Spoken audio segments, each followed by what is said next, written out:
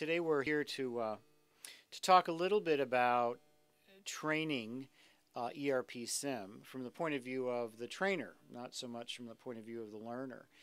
So this is part of the what we might call Train the Trainer series uh, for ERP Sim, where we go over uh, some of the the critical issues for for the dynamics with a class, uh, some tips about uh, how to how to run a good ERP Sim uh, presentation and a good class, and how to get the uh, students really involved.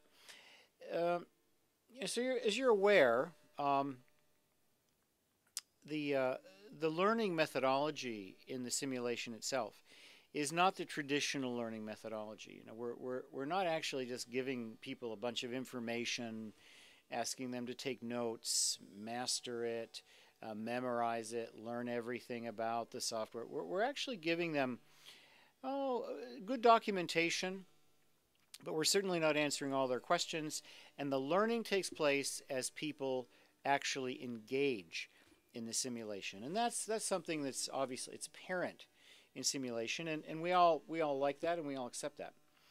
Interestingly, when we train trainers, when we train either professors or in the commercial side, when we train people to use uh, to train on ERP Sim or to teach ERP Sim, immediately we see a very interesting default behavior. And the default behavior we see in people learning to be trainers or learning to be teachers of ERP Sim is that um, they want everything mapped out. They want everything controlled. They want everything kind of lockstep so they know exactly what to do. And I'm going to suggest that it's a very interesting thing as you learn to train on ERP Sim to observe your own reactions, to observe your own behaviors. Um, and you might find something very interesting about, um, about your learners. Because as soon as we put people into a situation where they don't know everything, and, and particularly when we put them into a situation where at the beginning um, they're not very good at what they're doing. In fact, they might even be failing. And you know, we often say that in, in ERP Sim, you know, error or failure is sometimes the best thing because that's how you learn. Well, that's great for our students, right? But when it fe- when we feel that discomfort of not being able to do everything perfectly, the behaviors that arise are, um, are, are interesting to observe, and we need to be observant of those in ourselves. For example, um, when when you take a a group or you take a, a group of either trainers, professional trainers, or, or, professors, and you start teaching them how to run ERP Sim, it's it's it's somewhat difficult. There's a lot to learn, and we don't go through it. Uh, with a lot of drill and practice so you can practice everything you know 10 times so you reach mastery. We give you the basics and we show you how to do it. And then when you try it generally you won't be completely successful. You may have mistakes and you may have errors. Now the, the remarkably fascinating thing is that when very smart people like you know, professional trainers or professors um, have difficulty um, learning and doing something, as, you will when you learn ERP Sim, they immediately start feeling somewhat uncomfortable. And when we feel uncomfortable about whether we can do something perfectly or not, uh, particularly if we've been good students and we, uh, we pride ourselves on the fact that we're good learners, when we feel that level of discomfort, I can't do it perfectly right away, we tend to, um, we tend to blame. Um, there are a number of possibilities of where we might blame.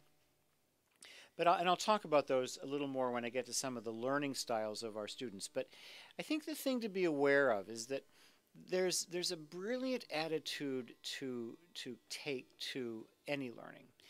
And the attitude when you begin to feel uncomfortable about about whether you can do it perfectly or whether it's going easily, the attitude to take is the attitude of interest and inquiry when something isn't working, when perhaps you're trying to, to run the simulator and you don't quite know exactly what to do, the, uh, the most useful attitude is to say, hmm, isn't that interesting?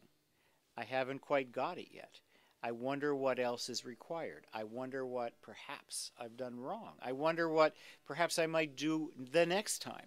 And this is, of course, the key element in the learning in the sim itself but I'm asking you to use that model reflexively as you do your own learning about uh, teaching ERP Sim. So the first thing, the first thing I really want to talk about uh, in terms of uh, in terms of teaching other people how to use ERP Sim is is really the, the overarching design or, or, or the milieu of the classroom and, and your key objectives. The, the key objectives that you have when you're teaching uh, ERP Sim are, are actually not technical. Although when you're in when you're in training to become an ERP Sim trainer, um, the first thing that you'll think about is the technology. How do I tap the keys? How do I make sure this works perfectly? Those will be the things on the top of your mind. And I don't want to short circuit, you know, I don't want to uh, shortchange those things.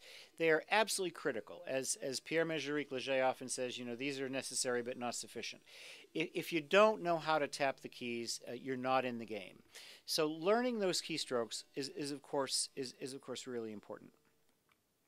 But I, I really have this belief that you're all going to learn the keystrokes. It's it's really not that difficult. In fact, it's fairly simple, and all of you are more than capable of learning the keystrokes. So primarily, you know, don't worry about it. Just just go along with the class, begin to learn, and realize that in this class you probably won't master everything, but you will get exposed to and you'll be in a position to attain mastery through practice, which is really what what our learning model is all about. I should say practice and experimentation.